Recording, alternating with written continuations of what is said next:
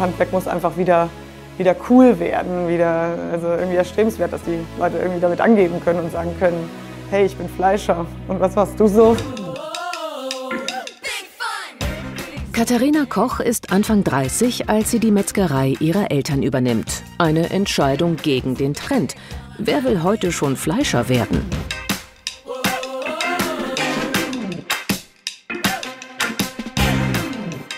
Ich habe auch gedacht, naja, jetzt kommen, da so die, kommen die klassischen Vorteile, die klassische Kritik, so die ist ja noch viel zu jung oder die ist ja eine Frau oder die hat ja studiert, die hat ja von, von Fleischhandwerk gar keine Ahnung. Das Hanfstracke, ne? Finger weg also. Metzgerei meines Vertrauens. Und die hat auch ein ganz tolles Personal, also es macht, da habe ich schon zigmal gesagt. Ja. So, und drei Scheiben gekochten Schinken bitte. Ja, gerne. Modern und kreativ kämpft Katharina um Nachwuchs. Jedes Jahr sind viel mehr Stellen ausgeschrieben, als besetzt werden können. Und das macht einem ja dann schon ein bisschen Sorge für die Zukunft ne, unseres Berufs. Ich habe auch als erstes so Vorurteile gehabt und dachte mir so, oh, das ist da alles so mit braunen Fliesen und Fleisch und bäh. Wir waren schon, wir waren schon Schwestern und genau, sie wird manchmal für meine Schwester, manchmal für meine Tochter gehalten. Also ich habe ja nach dem Abitur erstmal Politikwissenschaft studiert, weil ich habe zwei ältere Brüder und deshalb äh, war eigentlich hier der Handwerksbetrieb für mich gar keine Option. Ja, als mein Vater mich gefragt hat, da war ich äh, in New York, da habe ich bei der UNO gearbeitet. Dann äh, sagte er irgendwann, ja, deine Brüder haben sich jetzt äh, endgültig dagegen entschieden. Wie sieht's denn aus? Könntest du dir irgendwie vorstellen, mal wieder nach Hause zurückzukommen? Mir fiel natürlich ein Stein von Herzen, wo sie nach Hause kam und sagte, du, ich möchte das gerne machen. Und da war ich natürlich, da ging es mir innerlich total besser, weil ich hatte schon mit abgeschlossen. Dachte, naja, du musst jetzt die Firma verkaufen. Natürlich hat man da zwischendurch auch Zweifel, gerade als ich am Anfang noch war. Da denkt man, Mensch, schaffe ich das überhaupt alles? Mein Vater hat ja auch große Fußstapfen hinterlassen. Da ist natürlich dann immer so ein bisschen die Frage, äh, wird das dann schlechter mit mir? Das äh, wäre ja so ein Albtraum irgendwie. Seit 2018 ist Katharina jetzt Chefin der Landfleischerei Koch in Kalden bei Kassel. Die Fleischermeisterin vermarktet ihre Produkte mit neuem modernen Look im Netz und sie setzt auf regionale Kooperationen mit Landwirten, Gastronomen und Supermärkten.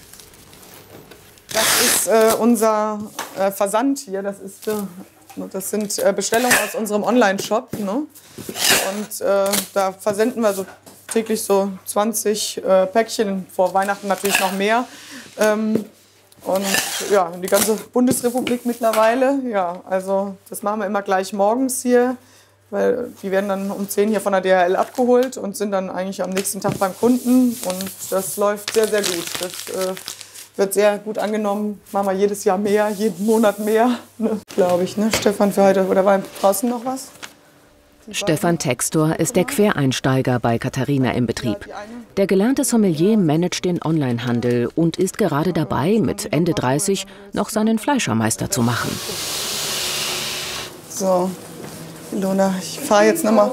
Bist du draußen? Ja, ich bin Ich, ich äh, fahre jetzt nochmal in den Himmel und hole nochmal ein bisschen Wurst runter. Braucht ihr noch was für einen Laden? Mm. Riesenstracke vielleicht? Ja. Ja.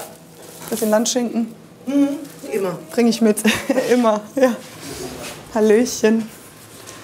So. Dann fahren wir mal in den Himmel. Wurst holen.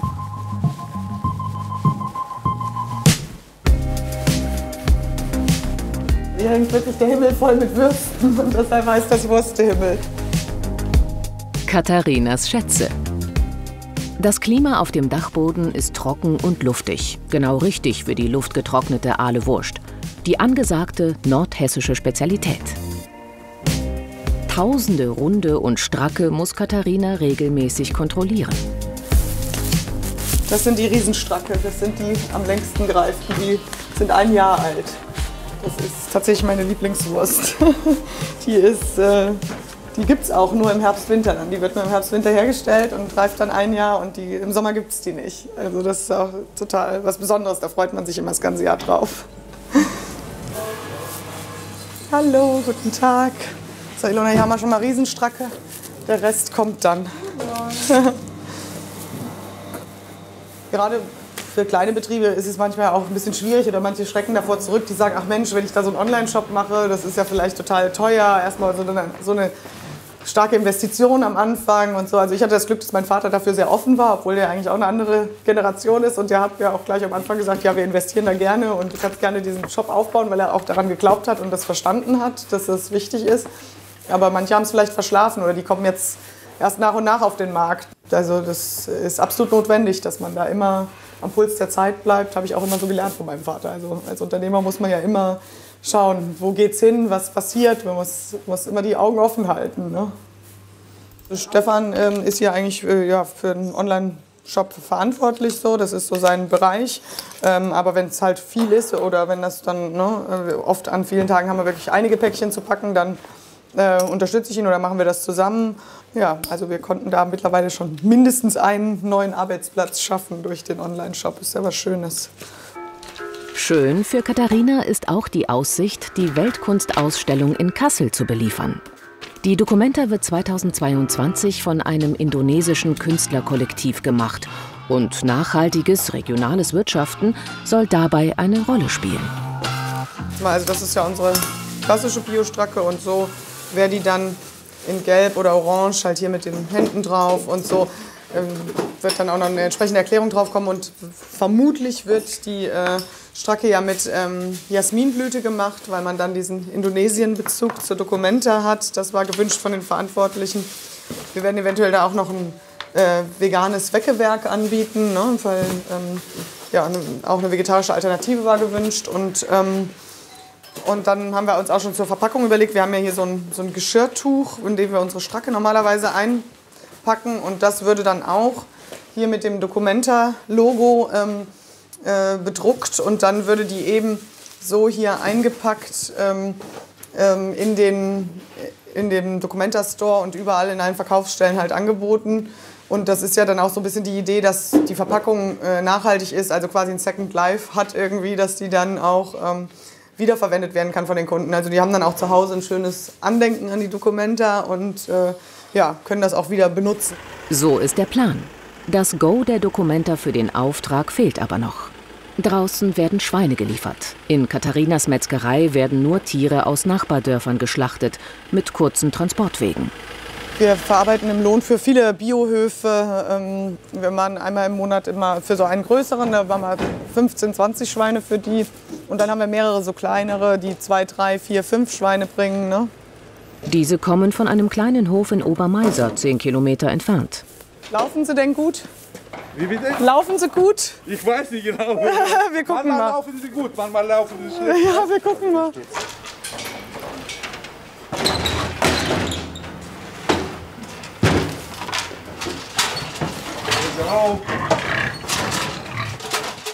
Die Schweine werden hier geschlachtet und dann so verarbeitet, wie der Bauer das wünscht. Das Fleisch und die Wurst kommen nicht in Katharinas Verkaufstheke. Ja, das sind die Rockschweine. Ne? Die sind äh, so ein bisschen rötlich und so mit dem Fell, das hat man gesehen. Das ist eine besondere Rasse, ja. Äh, wir machen dann Ahlewurst natürlich hauptsächlich. Das ist ja immer unsere Spezialität, aber auch andere Produkte, so Wurst im Glas und so Geschichten, die die dann in ihrem Hofladen verkaufen. Ja. Aber guter Bus. Gute Wurst. Danke, ciao. Nachhaltigkeit ist für uns äh, ein total wichtiges Thema. Also das ist auch äh, ein Thema, mit dem wir uns von anderen, äh, gerade Fleischproduzenten, unterscheiden. Also die Fleischbranche ist ja stark in der Kritik, äh, was das Thema betrifft. Äh, bei der industriellen Produktion mit Sicherheit auch zu Recht.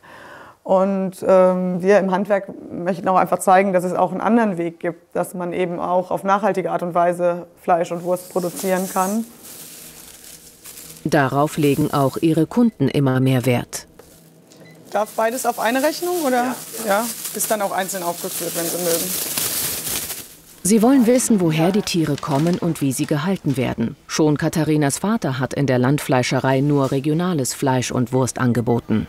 Von den, ähm, von den Kopfwürstchen? Ja. Vier Stück, ja.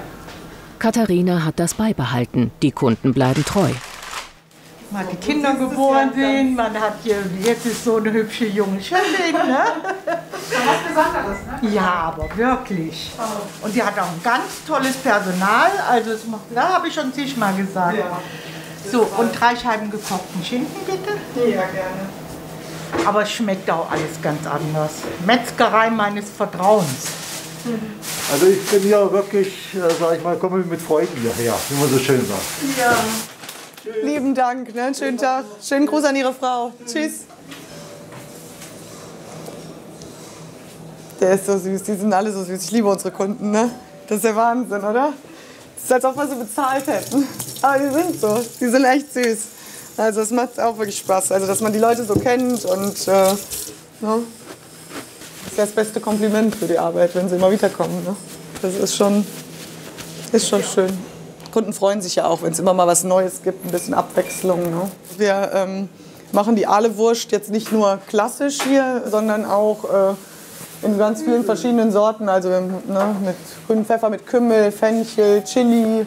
Dann machen wir auch mal so neue Sachen mit Gin zum Beispiel, haben wir sie jetzt oder mit Hüttbier gemacht, hier auch aus der Region. Man kann da unheimlich viel machen. Das ist ja auch schön, man kann kreativ sein. Ne? Man kann eben das immer weiterentwickeln. Also was wir auch hier neu gemacht haben, das habe ich aus meiner Zeit in Frankreich mitgebracht. Das ist hier die, die ist so affiniert, wie, wie man das auch beim Käse macht, also ummantelt mit, äh, mit verschiedenen Gewürzen. Viele neue Produkte, Vermarktung im Netz, Onlinehandel. Katharina hat die Familienfleischerei modernisiert. Besonders wichtig ist ihr aber der enge Kontakt zu den Bauern. Für die Fahrten hat sie ein E-Auto angeschafft, das auch alle ihre Azubis nutzen können. Wir fahren jetzt zu meinen Bauern, äh, Patrick und Tina. Die sind eigentlich mein Hauptlieferant für, für Schweine und äh, wir haben jetzt wieder neue Ferkel bekommen und wir probieren auch noch mal eine andere Rasse aus und äh, dann besprechen wir das mal, auch wie wir die nächsten Monate von den Mengen her planen und so. Ja, es ist natürlich total wichtig, dass es den, den Tieren gut geht. Also mir ist das persönlich, auch ethisch auch wichtig, ist auch unseren Kunden zum Glück immer wichtiger. Und äh, selbst wenn einem das egal wäre, ist es auch einfach für die Qualität äh, des, des Fleischs und unserer Produkte total wichtig, dass die Tiere gut gefüttert sind, gut gehalten sind, ohne Stress äh, äh, transportiert werden und äh, möglichst ja, nicht lange unterwegs sind und so weiter. In Hombressen stehen Patricks und Tinas Schweinemastställe mit rund 600 Tieren. Hi, grüß euch. Hi. Das Paar ist Anfang 30 und hat sich 2019 trotz Dauerkrise bei den Schweinebauern entschieden, den Stall der Zukunft zu bauen. Ja, die haben doch auch Fußbodenheizung hier bei euch. Ne? Das finde ich immer wieder so cool. Besser als manche Menschen. Katharina bekommt jede Woche etwa zehn Schweine von hier.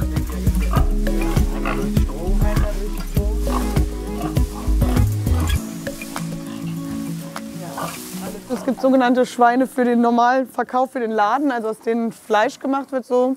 Ähm, und dann ähm, gibt es welche, das sind die sogenannten Aale-Wurstschweine. Die, ähm, für die Aale-Wurst braucht man halt besonders schwere Schweine. Weil also für, für einen normalen Ladenverkauf ist das schwer, die zu nehmen, weil dann ist das Filet riesig oder der Rücken ist dann so groß. Das finden die Kunden komisch, wobei man heutzutage eigentlich das auch eher machen sollte, weil die Qualität auch besser ist von diesem Fleisch, je länger das Tier gefüttert ist und so. Also ich selbst esse das sehr gerne. So ein Filet so, vom ne? Wurstschwein ist super. Aber ähm, für die Wurst braucht man es absolut unbedingt, dieses ähm, dunkle, lange gefütterte, langsam gewachsene Fleisch. Gemästet wird mit Gentechnik freiem Futter. Oh, jetzt kriegen sie meistens noch mal ein bisschen Silage hinterher. Das geben wir denen morgens und abends noch mal ähm, zusätzlich rein. So, das ist auf der einen Seite, sage ich mal, sehr schmackhaft, dieses Kleegras sage ich mal, für die Schweine. Und ja, die spielen damit, suchen das im Stroh und so weiter. Das ist auch so eine Art, sag ich mal, Beschäftigung. Ne? Mögen die ja gerne offensichtlich. Ne? Genau, ne? ist auch wichtig. Sie freuen sich ja auch so drüber und äh, wir können es gut verwerten, mhm. das Gras. Ja, aber macht nicht jeder Bauer, oder? Nein, ich glaube nicht. Also es ist schon mhm. äh, auch so ein bisschen vielleicht in diese Nische gehört es einfach für uns mit rein. Ja. Ähm, den Tieren sowas nochmal Gutes als Bonbon, sag ich mal, oben drauf zu geben. Ja. Und äh, ja, finde ich gut. Finde ich echt gut. Ja, eigentlich schade, dass das vielerorts gar nicht mehr so gemacht wird. Ne? Genau. Grassilage hat schon Patricks Opa seinen Schweinen gefüttert. Dankeschön. Ja, müssen wir aufpassen, dass sie nicht weglaufen hier, die unsere. Hallo, hallo, hallo, guten Tag, ihr Lieben. Vorsicht. Katharina schaut sich die neue Schweinerasse genauer an. Hast du die Duroc-Kreuzung drin, ja? Genau, genau. hier sag ich mal, sind die, sind die Duroc. Das kommt bei dem einen oder anderen, kann man es ja kennen, da kommt dieses rot-braune von dem Duroc. Ja. Eben, das kommt noch Ja. durch da, ne?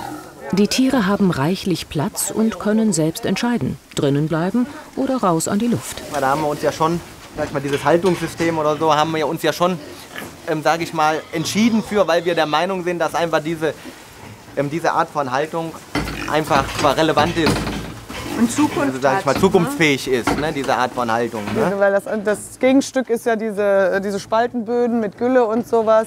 Und da sind wir nicht so Freunde von, weil das erstens mal für die Gelenke von den Schweinen auch nicht gut ist. Das ist nicht schön dann vom ganzen Geruch. Dann denkt man an die äh, Güllebelastung des, des Grundwassers und so weiter. Also da ist Stroh schon, wie man das ja auch früher eigentlich mal gemacht hat, der ganz gute und natürliche Weg. Die Schweine stehen weich und die spielen ja auch mit dem Stroh, ne? die wusel, wühlen und das, ist, das entspricht einfach ihrem natürlichen Habitus da, ne? oder ja, wie, wie die Schweine sich, naturell, ne? ne? Genau. Zu suhlen und ein bisschen zu Ja, wühlen, zu ne? suchen. Und wenn die jetzt nur auf so einem Steinboden wären, das wäre nicht schön. Oder nur auf so einem äh, ne, Metallspaltenboden oder was es da gibt.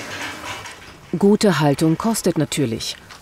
Und die Fleischermeisterin garantiert Patrick und Tina dafür auch einen angemessenen Preis. Der nächste Morgen, 5 Uhr. Katharina ist auf dem Weg von Kassel nach Calden in die Metzgerei. Viele sagen auch zu mir, auch, du bist ja die Chefin, du musst da eigentlich nicht immer frühmorgens dabei sein und so. Ähm, ist ja auch tatsächlich so, die Mitarbeiter, die unterstützen mich ja auch, aber ich möchte auch gleichzeitig ein bisschen Vorbild sein, ein bisschen äh, ja, vorangehen. Also kann ja nicht verlangen, dass die alle sehr, sehr früh aufstehen und ich selbst stehe als Einzige nicht so früh auf. Das ist ja irgendwie ein bisschen komisch. Ne? Sie hat sich bewusst für ein bisschen Abstand und eine Wohnung in der Stadt entschieden, um näher bei Freunden zu wohnen, mal ausgehen zu können. Ihre Eltern haben ihr Wohnhaus direkt neben der Metzgerei. Damals mit drei Kindern war das praktisch. Moin Jungs. Morgen. Morgen. Katharina konzentriert sich voll aufs Geschäft, hat noch keine Kinder. Familienplanung muss warten. Momentan ist ihr die Fleischerei am wichtigsten. Noch 148.713 Mails. Check. Also so ganz so wie das früher war, dass man dann so bis zur körperlichen Erschöpfung oder so, das muss auch nicht sein. Aber ähm, ich denke, das ist einfach eine Einstellungssache. Also ich begreife viele Teile meines Berufs eigentlich auch als eine Art Hobby oder also die, machen halt auch einfach Spaß. Ich finde das schade, wenn ich Menschen höre, die wirklich ja immer nur auf den Feierabend warten oder auf die Rente warten. Das finde ich also, da denke ich, wenn mir jemand erzählt, ja, ich muss jetzt nur noch so und so viele Jahre, dann das ist doch so schade. Also ich freue mich jeden Tag darauf, hierher zu fahren und hier zu arbeiten. Ich glaube, das ist viel wert. Heute ist Schlachttag in der Metzgerei. Schlachten immer montags und donnerstags und dann stellen wir direkt aus schlachtwarmem Fleisch alle Wurst her. Also heute haben wir tatsächlich einige Bioschweine auch dabei. Wir ähm, schlachten beides, also ähm, Bioschweine und sogenannte konventionelle Schweine. Wichtig ist halt, dass alle hier aus der Region sind und auf Stroh gehalten werden. Und, ähm, also mir ist es viel wichtiger, dass ich den Bauern kenne und weiß, wie er so hält und füttert, äh, als dass die da irgendwie ein Siegel drauf haben. Ne? Also das, äh, das Entscheidende ist tatsächlich, dass man ja, die Wege kurz sind, dass man die Haltungsbedingungen kennt. Für viele Bauern lohnt sich das einfach nicht auf Bio umzustellen, weil das auch teuer ist und äh, hier auf dem Land auch nicht so viel nachgefragt wird wie jetzt in der Stadt oder so. Also hier wird geschlachtet ne?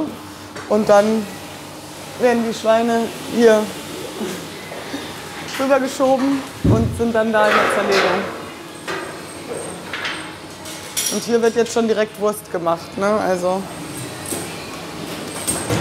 quasi ganz sofort. Wie viel machen wir heute, Marco? Das sind jetzt das Temmen. Machen wir tausende Stücke. Tausend. Ist jetzt ja im Winter, ist jetzt Hauptproduktionszeit. Ne? Alle Wurst wird jetzt ganz viel produziert, damit wir den Sommer über auch genug haben. Ja, wir sind eigentlich eine der wenigen Fleischereien, die überhaupt noch selbst schlachten. Also das äh, gibt es nur noch ganz wenig. Äh, was sehr schade ist, weil äh, erstens kann man ja dann nicht wirklich warm verarbeiten. Also alle Wurst ist schwer zu machen ohne schlachtwarmes Fleisch. Und äh, außerdem hat man dann ja irgendwann die gleiche Qualität wie im Supermarkt oder so. Wenn man die Schweine auch vom großen Schlachthof aus den riesen Schlachtbetrieben bekommt, dann ist es ja das gleiche Fleisch. Also eine Metzgerei muss sich ja auch abheben können. Und wir können das dadurch, dass wir hier eben die eigenen Schweine haben, die wir von unseren Bauern kriegen, die wir kennen und die dann selbst schlachten hier, dann haben wir halt die ganze Kette sozusagen ja, im Blick bei uns. In der Region rund um Kassel ist Katharinas Metzgerei nur noch eine der wenigen, die selbst schlachten. Viele kleine Betriebe müssen dicht machen, weil Nachwuchs und Mitarbeiter fehlen. Keiner will mehr Fleischer werden. Die nordhessische Ahle Wurst, das Traditionsprodukt der Region, ist das, was in Katharinas Metzgerei hauptsächlich verkauft wird. Momentan haben ihre Mitarbeiter viel zu tun, um die Bestände wieder aufzufüllen. Ja, also der Wursthimmel ist jetzt relativ leer, weil Weihnachten und ne, im Herbst, Winter generell wird noch mehr Wurst gekauft als sonst natürlich. Und ja, jetzt müssen wir erstmal wieder auffüllen hier. Also unser Wursthimmel hat so ein Fassungsvermögen von äh, 50.000 Würsten. Und ja, die müssen ja ständig nachproduziert werden, weil sie auch ständig abverkauft werden und dann immer eine Reifezeit zwischen zwei und ja, zehn, zwölf Monaten haben. Das muss Katharina immer im Blick haben. Und jetzt noch die Dokumenta. Ja, also für uns ist es eine Ehre, dass wir äh, bei der Dokumenta mitmachen dürfen, dass wir da äh, Lizenznehmer sein dürfen, ne? ein Produkt für, offiziell für die Dokumenta herstellen dürfen. Das ist schon toll. Da kommen ja total viele Menschen von überall her und wir dürfen hier die Region repräsentieren und das regionale Produkt da anbieten. Das ist schon großartig. Und es liegt dann in meinem Ermessen, was ich glaube, wie viele Würste ich verkaufen kann. Also die bestellen nicht fix, jetzt sage ich mal 1000 Würste oder so, sondern ich muss sagen, okay, ich gehe davon aus, dass so und so viel verkauft werden. Was halt bei aller Wurst nicht ganz so einfach ist, weil wenn ich jetzt feststelle, dass sie alle sind, kann ich nicht für nächste Woche nochmal neu produzieren, wie jetzt mit Bratwurst oder so, sondern das muss ich drei, vier Monate im Voraus mindestens wissen. Die mündliche Zusage hat sie. Die offizielle mit wichtigen Details für die Produktion fehlt aber noch. Morgen, Papa. Morgen, Katha. Moin, hallo. Ich will heute einen alten Freund besuchen, dem wollte ich ein Geschenk mitbringen. Kannst du mir mal eine schöne Stracke raussuchen? So. Thomas Koch, Katharinas Vater, schaut fast täglich vorbei. 2018 hat er seiner Tochter die Metzgerei ganz überlassen. Davor haben sie eine Zeit lang gemeinsam die Geschäfte geführt. Und ich habe ihr dann nur gesagt, wenn du das machen willst, habe ich aber eine Bedingung, dass du nochmal eine richtige Fleischerlehre machst. Und die Leute alle, und die haben alle dann gesagt, oh wei, oh wei, Thomas, Thomas.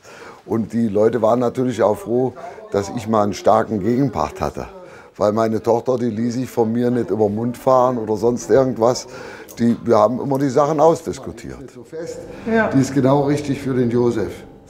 Mein Vater hat sicherlich ein bisschen autoritärer geführt als ich. Jetzt, heute ist das mehr so auf Augenhöhe, ist das ein bisschen, ja, versuche ich die Leute mehr mitzunehmen, dass sie sich auch mehr selbst einbringen können und damit bin ich bisher ganz gut gefahren. Guten Tag. Die Leute mitnehmen. Kollegiale Arbeitsatmosphäre, Entfaltungsmöglichkeiten. Katharinas Weg hat auch Isabeau überzeugt, dass sie hier richtig ist. Wenn ich Leuten erzähle, dass ich Fleischereifachverkäuferin bin, dann sind die immer ziemlich verwundert und sagen immer, so siehst du ja gar nicht aus und das hätte ich nie geglaubt und so. Ja, die rechnen halt einfach nicht damit, dass äh, so, so eine junge Frau, sag ich mal, halt hinter der Fleischtheke steht und ihren Kotelett sägt. Eigentlich wollte ich medizinische Fachangestellte lernen, wollte dann aber halt gerne eine Ausbildung machen und mich hat keiner genommen. Und äh, habe dann damals als Zimmermädchen im Stadthotel gearbeitet und die Frau an der Rezeption, der ihr Mann hat hier gearbeitet und hat mich dann zum Probearbeiten mitgenommen. Und es hat mir halt so gut gefallen, dass ich gesagt habe, gut, dann fangen wir an mit der Ausbildung. Ich habe auch als erstes so Vorurteile gehabt und dachte mir so, oh, das ist da alles so mit braunen Fliesen und Fleisch und bäh. Aber ähm, nee, also es war überhaupt nicht so. Ne? Also man hat viel Kundenkontakt und äh, lernt jeden Tag eigentlich nette Leute kennen und die Kollegen hier sind sowieso auch super. Die Chefin natürlich auch. Und äh, ja, nee, also hat direkt Spaß gemacht, war direkt super. 2017 hat sie ihre Ausbildung bei Katharina begonnen und ist geblieben. Ja, Also das Klima hier, also das Betriebsklima, das ist äh, einzigartig. Also hatte ich noch nie. Also das ist alles familiär und liebevoll und freundlich und alles.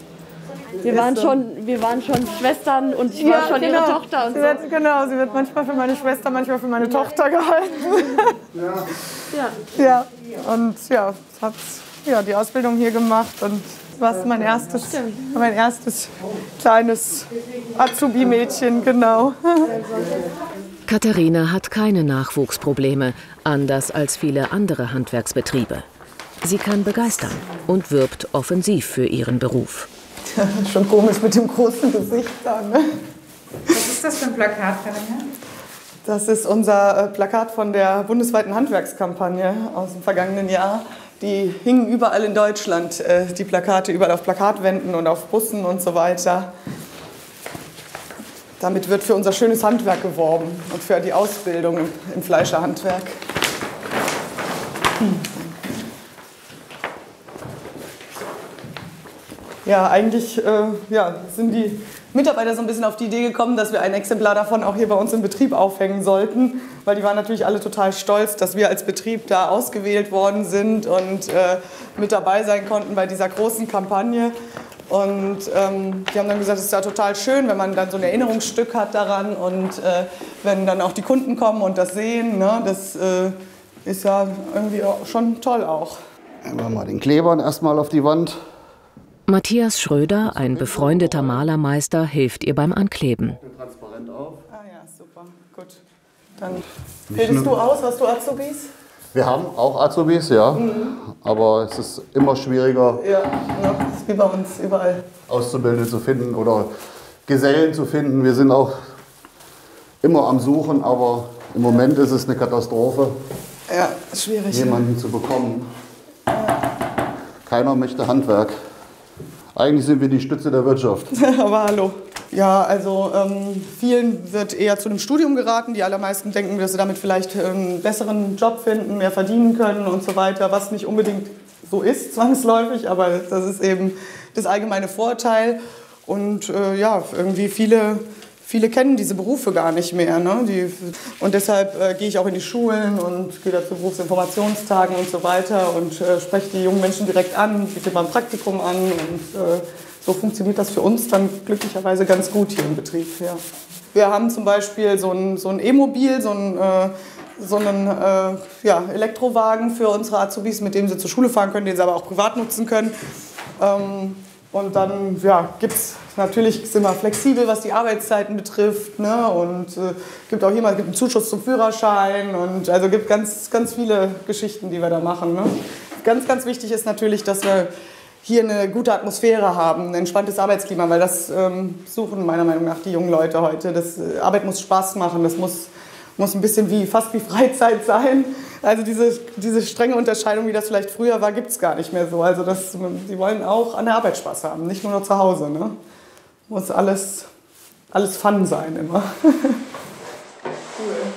Das ist schon speziell, wenn man sich selbst da so sieht, aber wenn es für eine gute Sache ist, wie für meinen Betrieb, wie für unser Handwerk, dann gibt man sich doch gern dafür her, denke ich, oder? Das Plakat hängt jetzt im Besprechungszimmer der Fleischerei.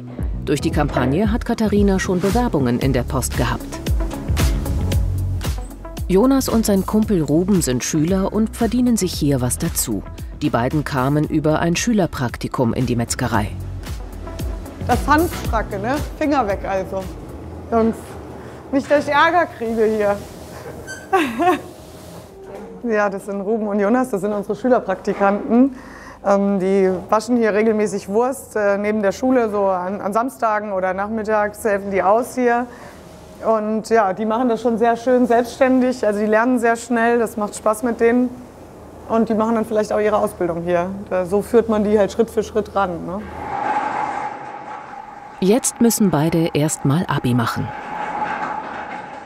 Ich selber habe auch einen Background. Mein Onkel hat selber Tiere, hat selber geschlachtet, auch hier vor Ort schlachten lassen von Katharinas Vater damals noch und teilweise sogar noch Opa.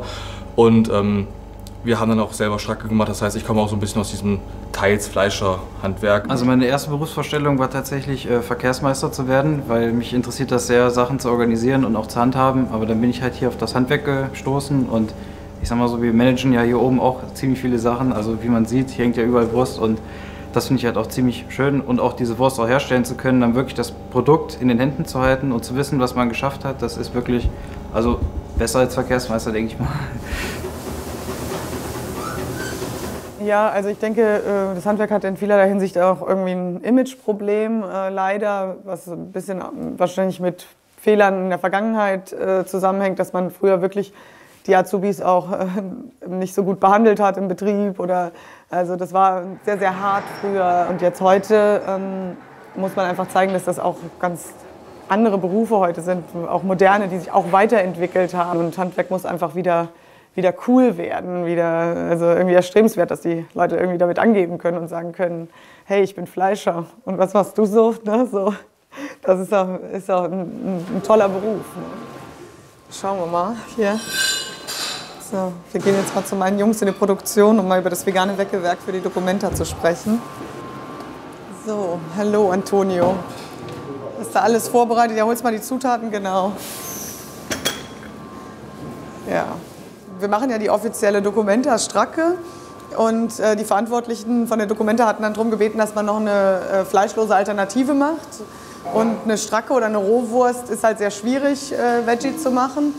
Und dann haben sie gesagt, soll aber unbedingt was typisch Regionales, was typisch Kastellanerisches sein. Und äh, Weckewerk ist ja hier auch so was ganz typisch Nordhessisches. Und äh, dann haben wir halt gedacht, ja, dann machen wir doch Stracke, einmal mit Fleisch und ohne Fleisch dann das Weckewerk. Und äh, ja, wir haben auch schon die ersten Testchargen gemacht und es schmeckt tatsächlich fast genauso. Also uns ganz toll. Ja genau, wir haben das vorher in kleinen Mengen gemacht im Mixer und dann ja, haben es mit weißem Bohnen, gleich wegen der Farbe hatten wir uns gedacht. Reiswaffe wegen der Konsistenz, kam ein Kollege drauf. Die Würzung war ja klar, ein bisschen Wasser muss noch dazu, damit es auch äh, geschmeidig bleibt. Ja, so ist das immer, wenn wir ein neues Produkt machen. Ist ja bei Fleischprodukten auch so. Ne?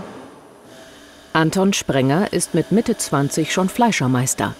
Er tüftelt gerne an neuen Produkten, wie der veganen Alternative für die Wurstspezialität Weckewerk. Normalerweise kommen ja Schwarten rein ja, oder festeres genau. Fettmaterial und ja. allein um diese Konsistenz nachzuahmen, haben wir uns dann für Reiswaffeln entschieden.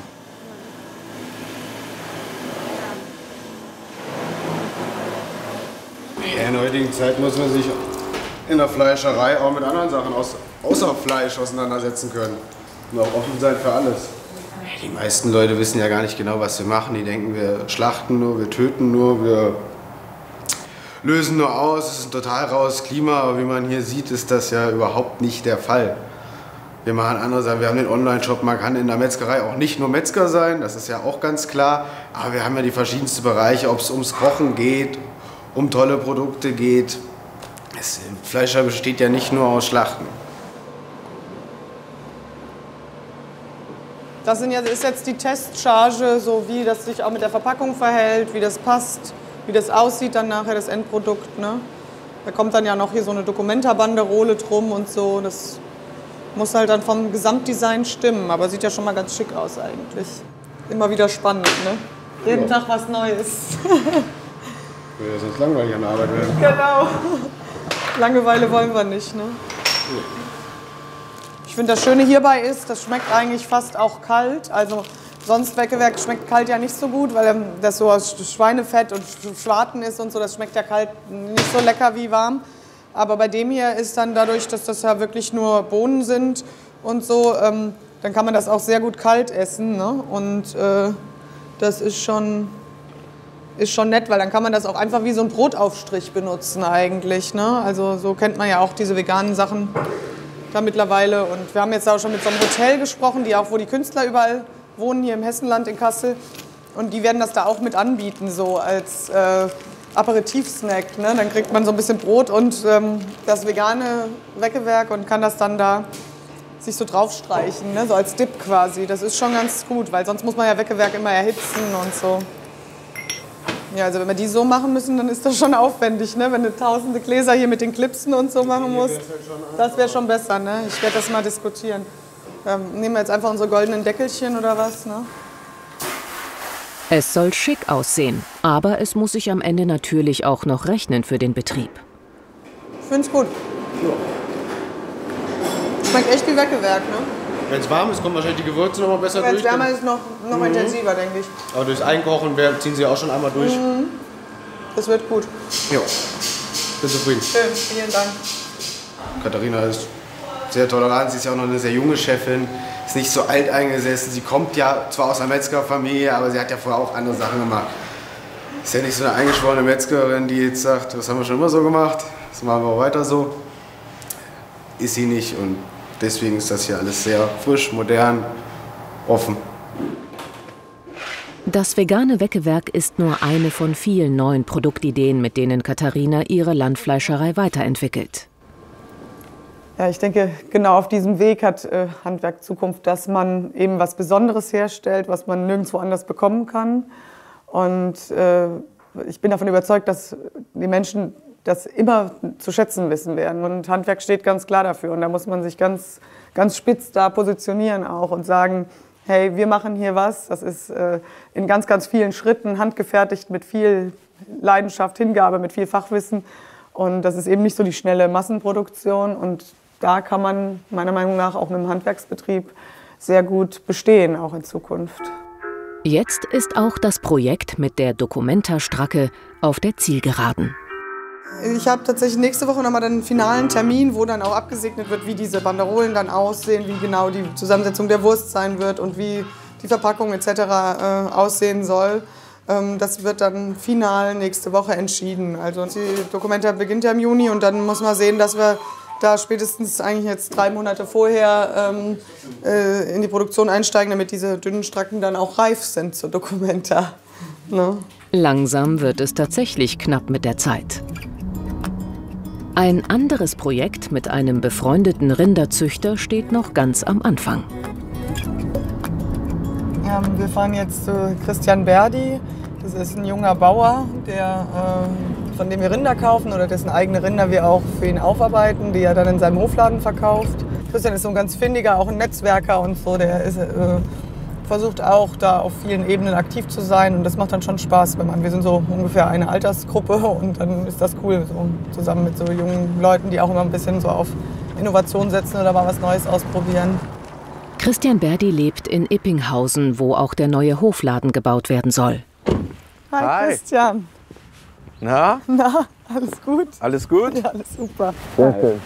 Ähm, ich wollte ja mal das Objekt zeigen, wo wir den Hofladen Ja. jetzt äh, dieses Jahr dann bauen werden. Und da machst du auch äh, Gastro, oder wie? Genau, wir wollen dann Gastro machen. Ähm, das hatte ich ja dann schon mal gesagt, dass wir dann sowieso mal sprechen müssen, weil wir ja keine Schweine jetzt haben, inwieweit wir Mhm. da äh, von euch auch beliefert werden können. Und die Ist das alles Bio? Christian will im neuen Hofladen dann auch Wurst von Katharina anbieten. Der Standort liegt günstig an der Straße zum Edersee.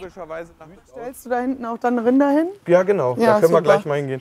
Ja. Und dann ähm, werden wir hier das Ganze, wenn es so angenommen wird, ein bisschen erweitern zu einem gastronomischen Bereich. Schotten das hier mit einem schönen Zaun dann ab. Das ist mit schon abgesprochen. Mhm. So dass wir hier hinten auf der Fläche dann eben ähm, ja, verschiedene Grillabende oder mal ein Grillevent anbieten Ja. können. Mit Blick auf die Rinderweide. Ja, hier sehen wir jetzt unsere Muttertiere, die sich hier sonnen.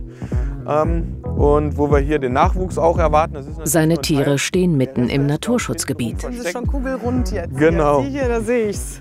Die Ja. ist schwanger. Christian wartet täglich auf Kälber. Ja, deshalb können sie, kann sie ja auch draußen Ja. stehen. Ne? Auch hier, sage ich mal, also neben der ganzen. Fleischvermarktung und, und Rinderzucht, darf man halt im Naturschutzgebiet auch nicht vergessen, dass wir hier für diese Artenvielfalt mit unserer Rasse Mhm. einen sehr, sehr großen Beitrag leisten, weil sie eben äh, einmal durchs Fell, die ganzen Insekten, die sich hier ansiedeln oder die Ach so, Vögel, ja. die ziehen sich wirklich ja das Fell hier raus und bauen ihre Nester damit, sitzen dann in den Cool. Buschgruppen da hinten drin. Ähm, Das ist ja süß. Und da arbeiten wir sehr, sehr eng auch mit dem Naturschutz zusammen. Komm her, komm! Für seine Rinderzucht macht Christian Werbung über Social Media. Ja, Christian hat ein super Insta-Profil. Ja, Er will zeigen, wie sich moderne Landwirtschaft und Naturschutz verbinden lassen. Das sind unsere Social-Media-Stars, die Ja, Rinder. genau. Von der Seite müsst ihr Einmal posen bitte.